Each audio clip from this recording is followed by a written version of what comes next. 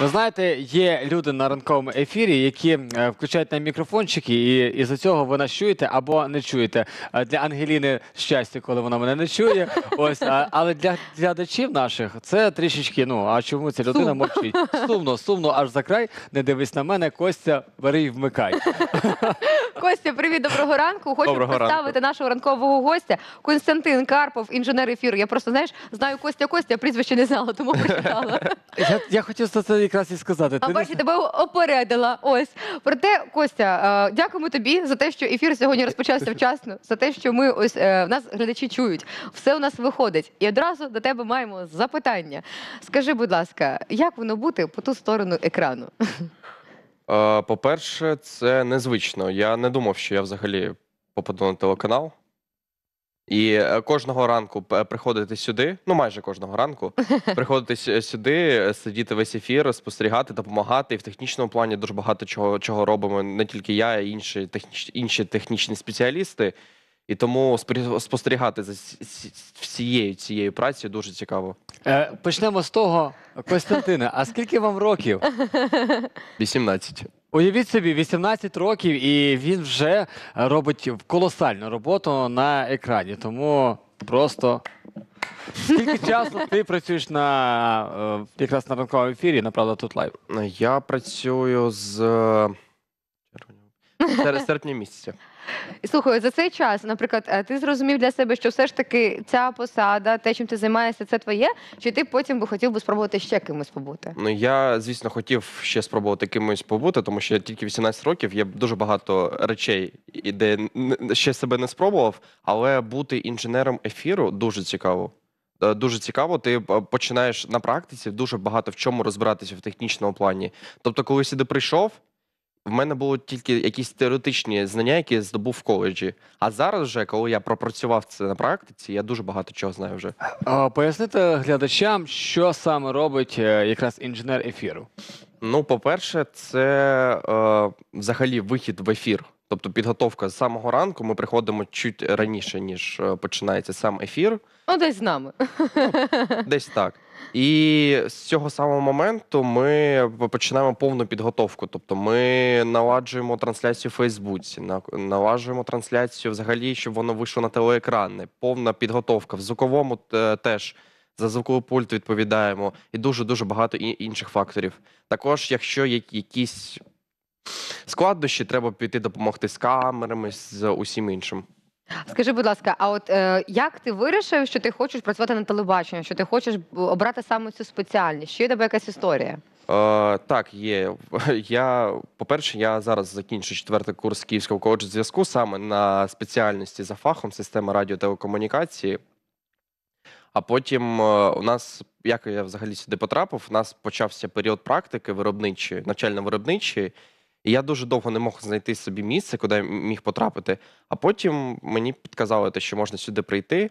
І я спочатку такий, типу, на практику, а потім кажу: ні, я буду працювати. От бачите, історія про те, що дійсно, якщо у вас є бажання, може навіть поєднувати з навчанням, спробувати гарно себе проявити на практиці, і потім вже бути невід'ємною частиною ранкових прямих та взагалі усіх ефірів, які відбуваються на телеканалі Правда тут. А, слухай, а чи можеш ти, як вже людина, яка спробувала практику, а людина, яка вже працює за спеціальністю, а, дати декілька порад для тих, хто зараз дивиться, думаю, я теж так хочу, як Костя. Угу. Ну, по-перше, це м, треба бути відповідальним е, е, відповідальною людиною. Тобто розуміти, що на тебе, на тебе потім на- накладаються якісь обов'язки, які ти маєш вик- виконувати. І є ті обов'язки, які, крім тебе, ніхто більше е, виконати не зможе. Також самоорганізація. Дуже багато самоорганізації. Ти маєш розуміти, скільки в тебе є часу, там, наприклад, виконати цю роботу, цю роботу, відпочити і так далі. І так далі. І просто бажання працювати. Ну, якщо вже бажання працювати, як тобі працювати на ранковому ефірі, приходити, е, коли ще е, люди прокидаються, а ти вже тут. Е, По-перше, транспорт. Люди мені не заважають в транспорті, це чудово. Потім, коли вже, вже інші казали, ти е, спочатку ти прокидаєшся, в тебе може не бути настрою, ти дуже сонний. Але ти приходиш сюди, в цей колектив, де всі молод- молоді. Мо- мо- молоді, Задумався, може хтось є да постарше.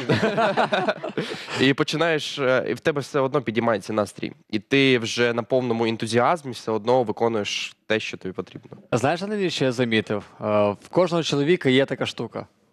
А ви мені Руки. кажете, приберіть руки. Як можна прибрати руки, коли вони летять? Слухай, ну йому можна, а ми з тобою в ефірі, то нам не можна, Ну, розумієш? Якщо вже в ефірі, як тобі працювати за кадром? За кадром.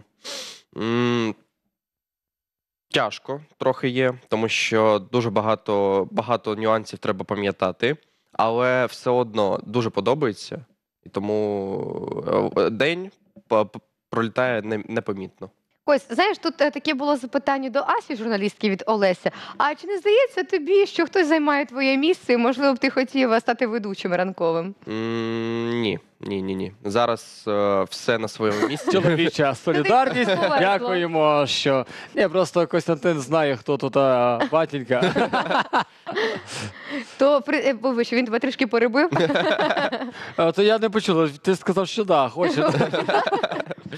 ну тобі здається, що ти все ж таки на своєму місці, правильно я розумію? Так, я зараз на своєму місці повністю. Це добре розумію, тому що ну ніхто, крім мене і ще мого напарника, не може виконувати цю роботу. І ми в цьому от, 100% доєднуємося і підтверджуємо. Таке запитання. Ну, знаєш, якщо ми вже в прямому ефірі, якщо ми на телеканалі Правда тут, Мгм. а то можливо тобі є за що нас посварити, сказати нам так. От такого, щоб більше не робили. Посварити. Ну так, якщо є за що, можливо, є посварити за що Олеся, мене нем- нема за що. Або, типу, е, посварити лише Олеся, наприклад, та Ангеліно. Так, можна тільки Олеся. М, Та мені сварити ні, з- ні за що. Я не знаю, за що вас сварити. Це більше редактор виконує, виконує цю роль. Я тільки допомагаю все. Ми Допомагаєш тобі дякуємо. сварити да, нас. Ну, іноді. Слухай, Кость, а скажи, будь ласка, які у тебе плани на 22-й рік? Чи написав вже, чи маєш? Плани є. Е, Є плани закінчити на- нарешті навчання в коледжі, е, потім е, продовжити тут пр- працювати, а дізнаватися щось е, і- інше, багато чого іншого. Плюс ще. Ну, є, є плани, але то так. Не будеш розповідати, Не так? буду. Поки? А знаєш що? Бо не збудуться Точно. 100%. А тоді, щоб збулося все найкраще, то потрібно побажати нам і телеглядачам. Зможемо? Ну, зможемо. Давай. Туди так. Так. Ми сьогодні всі знайомимо, працюємо на цю камерку. Я зрозумів. Я бажаю вам у 2022 році, що у вас всі плани, які ви загадали на 2021 рік, нарешті ще ви, е, виповнилися, якщо вони не виповнилися в 2021-му, і нові плани теж. Також не забувайте те, що головне в житті це зараз здоров'я, щастя та добро. Клас. Таке відчуття, знаєте, як будто я побував на корпоративі. 100% щастя, здоров'я, успіхів в навчанні, гарного вам дня. Але знаєш, здоров'я зараз досить таки актуальне. Е, Без щастя нікуди, бо не будемо прокидатися з усмішкою. І там що там, добро? Добро. І добро, і, добра на І добра вам всім. Ми нагадаємо, що Костянтин Карпов сьогодні був і розказав, як працювати за ефіром.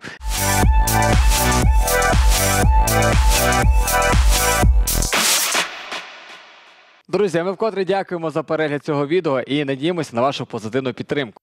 Найголовніша умова щоранку прокидатися разом з нами з 8 до 11 на телеканалі Правда тут. Ми на вас чекаємо.